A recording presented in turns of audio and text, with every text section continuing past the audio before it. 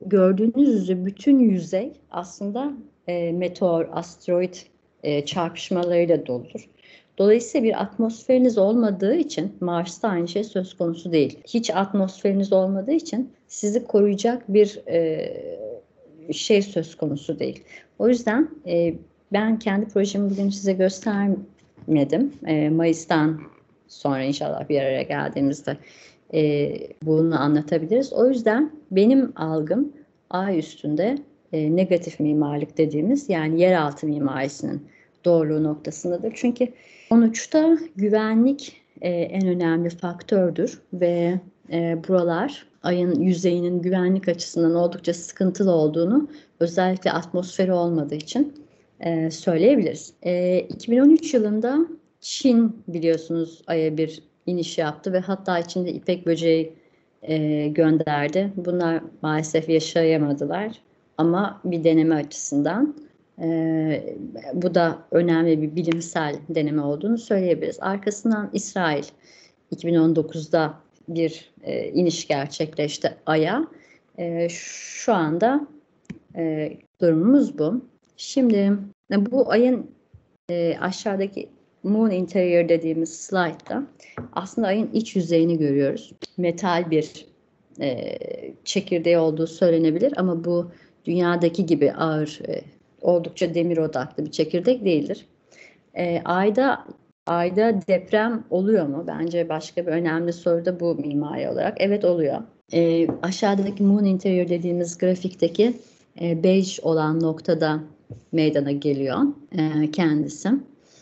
E, regolitle kaplı ay yüzeyi. Regolit e, radyasyon e, ve toksik madde olmadığı e, söylenmekte ama oldukça keskin bir madde. Dolayısıyla insanla e, irtibatında cildinizi oldukça kesici bir e, yüzeye sahip olduğunu söyleyebiliriz. O yüzden yapacak mimarilerde e, regolitin mutlaka e, yani insanla iletişimde araya bir katman konulması gerektiğine ben inanıyorum. Yine e, Moon Slopes'a bakarsak aslında bu bir önceki e, şeyde göstermiştim. E, ayın yaklaşık ne kadar inişli çıkışlı bir, e, bir neredeyse bir peynir e, tekerleği gibi e, grift bir yapıya sahip olduğunu görebiliriz. E, maalesef slide'ın ötekinin önüne gelmiş. Near sight dediğimiz aslında ayın bizim devamlı gördüğümüz yüzü. Öteki de görmediğimiz yüzüydü. E, Regotle de ilgili söyledim. Leading Star. Ha buraya koymuşum aslında. E, ortadaki bu Tranquility denizi e, aslında Apollo 11'in yani Neil Armstrong ve Buzz Aldrin'in indiği bölgedir. Um, bu bizim gördüğümüz yüzey, görmediğimiz yüzeyinde tabii e, yani henüz bir araç inmesi gerçekleşmedi ama bunlar da önemli. Bir e, size YouTube videosu önermek istiyorum. Ayın Origin of the Moon, ayın o nasıl diyelim e, yarı nasıl oluştuğuna dair bir video YouTube'da. E, Robin Canop'ın. E, izlerseniz belki hoşunuza gideceğini düşünüyorum. Şimdi e, başka bir konu da ay üstünde aslında bulunan su. E, bakın e, sağ tarafta e, ki e, Polar e, Ashiko yazan slayttaki mavi yerler aslında ayda bulunan su mevkileridir. Burada önemli olan e, belki hatırlayacaksınız e, çok siyah noktalar vardı e, ayın e, derecelerine e, baktığımızda. Su peki aya nasıl geliyor? Bu önemli bir soru. Muhtemelen kuyruklu yıldızlar vasıtasıyla. Kuyruklu yıldızların aslında biliyorsunuz arkasından çıkan yıldız su buharıdır. Ve o su buharı gittikçe erir e, evrende ilerledikçe kuyruklu yıldız. Ve bir şeye çarptığı zaman da o beraberinde gezdiği buz e, ve su kütlesinde düştüğü yere bırakır. Muhtemelen e, kuyruklu yıldızlardaki çarpışma sonucu e, atmosfer olmadığından e, ayın üstündeki bütün su kaçmıştır. Ama güney kutbunda ışık gelmeyen, e, ısı gelmeyen yerlerde muhtemelen donmuş halde buz kütleleri bulacağız. Bu buz kütlelerinin e, aslında uzayda ilerlemek için bir yakıt olarak e, kullanılma istemi vardır. Ve aslında bence hayatın nasıl oluştuğuna dair bize de çok önemli bilgiler bırakacaktır bilimsel olarak. Yani bunu sadece içmek için kullanmak gibi değil ama bilimsel olarak bize katacakları noktasında çok değerli olduğunu düşünebiliriz. Ay'daki en büyük kratere gelirsek e, bu kriter de, krater de e, Ay'ın güney bölgesindedir. Yaklaşık olduğu gibi Washington e, şehrini içine alacak genişlikte ve derinliktedir. E, ve hiçbir güneş almadığından kısaca bahsedebiliriz. Çok uzadı mı konuşma? Bitirmek ister misiniz? Sizin için yeterliyse arkadaşlar soru sormaya da geçebilirler. Devam etmek istersek edebiliriz. Siz bilirsiniz. Tamam. En son şunu gösterelim o zaman. Bir de e, bu benim projemin de yer aldı. Ay'daki aslında lava tüpleri vardır. E, bu bu Ay'daki çukurların ve içerlek bölümlerin içinde oluşturacağımız yapıların e, ben mimari olarak daha verimli sonuçlar e, doğuracağını düşünüyorum. Bunları da lava tüplerini de ayda değerlendirmeye alabilirsiniz. Bence artık bu kadar. E, ben de biraz konuşmaktan yoruldum galiba. Başka bir zaman Artemis'i anlatacaktım ama biraz bakıyorum saatte bir, bir buçuk saate doğru ilerlemiş. Ayla böylece bitirmiş olalım. Ben ekran paylaşmamı keseyim. Arkadaşlar sorunuz olursa chat üzerinden e, alabiliriz ya da sesini açmak, görüntüsünü açmak isteyen varsa istediği şekilde davranabilir. Sizi bekliyoruz. Ben sizi ekranımda görmem gerekiyor ama şu anda şu an için bir e, sohbet kısmını isterseniz açabilirsiniz ama biz yine de okuyacağız size. O sohbet kısmında şu anlık bir soru yok ama. Hocam o, arkadaşları beklerken sorusu olan biri varsa ben aslında bir soruyla başlayabilirim. Ben sizi evet. göremiyorum şu an ama. Nereden açacağınızı düşünüyorum. Kişiler kısmından acaba görebilir misiniz? Görüntüm geliyor mu emin değilim size. Hı Gelmiyor. Olsun artık böyle devam edelim. Ben neredeyim acaba? Görünüm kısmından gözükebilir mi? Öyle. Tamam yani. gördüm. Buldum. Ee, hocam e, bu başlangıçta bazı kapsüller gördük. Kapsüllerde iç mimariyle ilgili de biraz bakındık ya.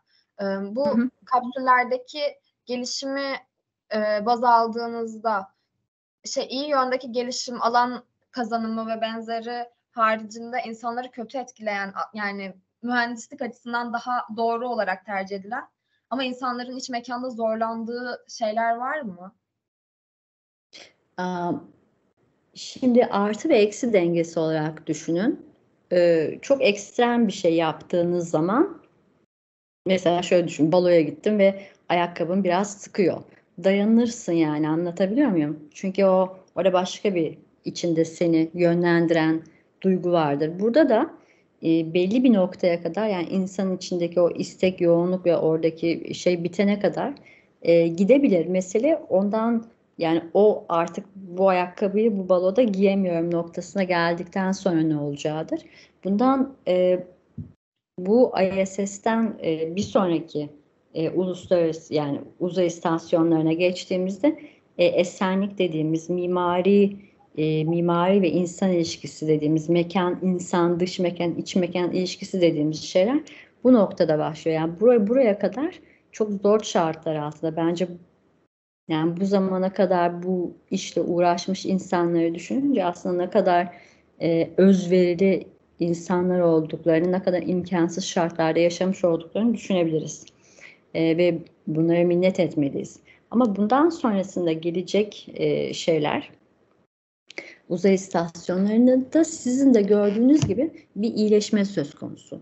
Ve sonuçta konuda daha çok mimar varlık göstermeye başladı. Ve sonuçta herkes e, konunun bir yeriyle ilgili e, ilgisi sonucu orayla ilgili bir gelişme e, öngörecek. Ve aslında öyle bir noktadayız ki e, belki önümüzdeki 50 sene içinde e, çok daha e, ekstrem, e, güzel, artist sadece e, mühendislik anlamında değil, estetiksel anlamda da insana katkı sunan e, mimariler göreceğiz. Ama şu ana kadar tabii ki de böyle bir şeyden bahsetmek söz konusu değildi. Chat'e bir soru geldi hocam. e, Mehmet Meki tarafından e, uzay araştırmalarında uluslararası işbirliği potansiyeli göz önüne alındığında mimarlar ortak dünya dışı yaşam alanlarının tasarımında kültürel kapsayıcılığı ve çeşitliliği nasıl sağlayabilirler diye bir soru geldi. Kültürel kapsayıcılığı. Hı hı. Um, yani aslında Türkiye'de bir uzay e, ajansı var gördüğüm kadarıyla ve e, ilgi de çekmeye başlamış uluslararası platformlarda. E, iyi gidiyor e, ve sanırım Ay'a e, bir sert iniş yapma hedefindeler. E, bir hedefler belirlemişler. Ben e, açıkçası burada çok ismini duyuyorum bizim uzay istasyon e, şey uzay ajansının. E, dolayısıyla e, Sierra Nevada diye biliyorsunuz bir şirket var. Türk yani. Buranın en önemli şirketlerinden bir tanesi ve sahibi e, karı koca Türkler. E, dolayısıyla e, bu tarz öncü kişilerin yardımı sayesinde olabileceğini düşünüyorum. Yani kendi başınıza bir şeyler elde etmeniz e, söz konusu. E, ama zor. Yani ben kendim kendi geçmişimden biliyorum. O işler o kadar kolay değil yani. Kabul ettirmek, varlık göstermek. Uzaktan kolaymış gibi gelebilir ama zor. Ama yani yaşamak böyle sonuçta yaşamak, mücadele etmek yani. Dolayısıyla istediğiniz bir şey varsa bir kültür, kültürel çeşitlilik alanında e, sınırlarınızı zorlayacaksınız, mesaj atacaksınız, çekingen olmayacaksınız. E, ne olur yani hayır dese diyeceksiniz. İlerleyeceksiniz. Sonuçta bu dünyaya gelmişsiniz. Bir varlık göstermek, bir yer kaplamak zorundasınız. Bu hak sizin doğal bir hakkınızdır bence. Sadece cesur olmak gerek biraz. Merhaba. Herhangi benim bir sorum olacaktı. Dinliyoruz. Benim bir sorum olacaktı. Ee, sohbetin başında hocam bir e, uzay istasyonundan bahsetmiştiniz. İnsanlar bunun için protesto etti falan. Ee, Mir, evet. Ben düşürülmesinden yanayım. Acaba siz ne düşünüyorsunuz bu konuda? Çünkü uzay çöpü diye bir şeyimiz var, gündemimiz var sonuçta. Sizin Evet. bu konu hakkındaki düşünceleriniz nelerdir? Hı, çok haklısın. Ee, uzay istasyonu, ha Mir'i düşürürken evet insanlar protesto etti. Aynı protesto muhtemelen e, bu Uluslararası Uzay İstasyonu'da da söz konusu olacaktır. Uzay çöpü e, sence uzay çöpü e, uydu uydu daha fazla değil mi? Sonuçta bir tane uzay istasyonunun varlığından bahsedebiliriz ama uydu çok. E, ve şimdi biraz bazen şeyde e, esprisel yaklaşırsak Freeman Dyson diye bir adam var. Hiç duydunuz mu bilmiyorum. Dyson küresi diye bir şeyi var bunun. E, güneşi metal bir e, şeye almaktan bahseder. Güneşi e, metal bir içine. Hı? Duydum hocam. Dyson küresi. Duydunuz. Evet, e, şimdi bu şimdi biz e, de insanlık olarak öyle bir şeyde gidiyoruz ki yani o aslında bizim ama şey e, aslında uydular biliyorsunuz tam bir nokta üstünde dönüyor dünyada yani bir halka. Yani biz Dyson Sphere'in içinde biz galiba kilitli kalacağız en sonunda falan gibi espriler yapıyorum bazen ama yani bu debriz bence çok önemli bir faktör. Ama bununla ilgili uğraşan firmaların şu anda kaynak bulmada zorlandıklarını görüyorum burada.